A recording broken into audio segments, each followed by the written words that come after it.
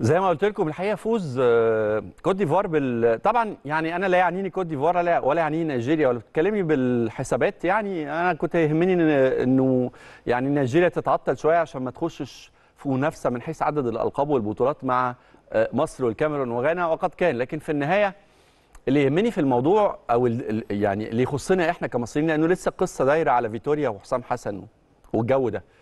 قصة بص العصفوره لكن اللي يهمني في الموضوع إنه القصة ابدا عمرها ما كانت قصة مدرب. يعني يعني يعني فوز كوت ديفوار بالبطولة بيقول لك إنه المدير الفني اللي أنت بتجيبه لقياده المنتخب ده ده الكريزه اللي بتتحط فوق التورتاية على وش التورتاية من فوق.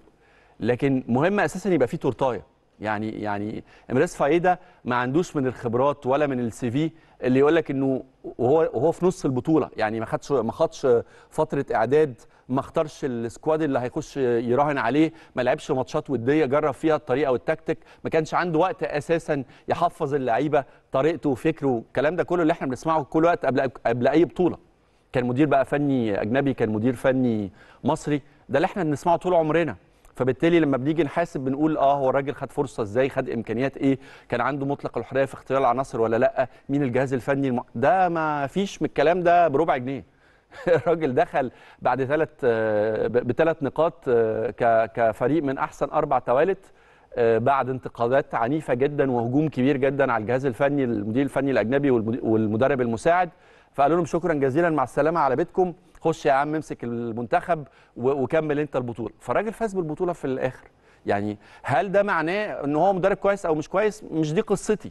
لكن القصة في النهاية بتقول إنه المدير الفني ما بي ما بيدفعش الفاتورة أو ما بيشيلش ما بيحاسبش على الفاتورة لوحده. المدير الفني لو عنده القاعدة نفسها كويسة لو التورتاية زي ما قلت من شوية كويسة عنده آه، آه، آه، لعيبة على أعلى مستوى زي ما كنا بنشوف. كوت ديفوار على فكرة النسخة اللي فازت بالبطولة دي مش الأقوى في النسخة دي. لو حطيتها من حيث المستوى أو التصنيف حتى بتاع الاتحاد الأفريقي هتلاقي إنه المغرب والجزائر ومصر والكاميرون ونيجيريا كل دول كتصنيف أعلى منها بكتير.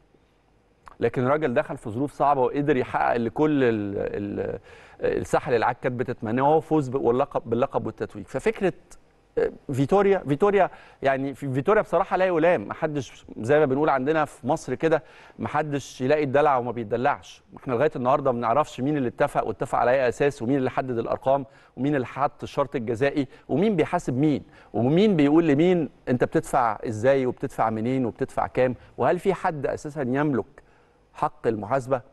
يعني هل في حد ممكن يحاسب المسؤولين؟ حتى سيبك من اللي فات أنا بتكلم على اللي جاي. وارد كابتن حسام وأتمنى إنه يكمل وياخد فرصة. أتمنى. عنده بالمناسبة تم الاتفاق مع مع مع اتحاد الكورة مع كابتن إبراهيم حسن وكابتن حسام إن يبقى في معسكر في شهر مارس اللي جاي عشان المنتخب هيشارك في البطولة دبي الو- الودية وفرصه ندي لل... على الأقل نوفر اليوروهات والدولارات.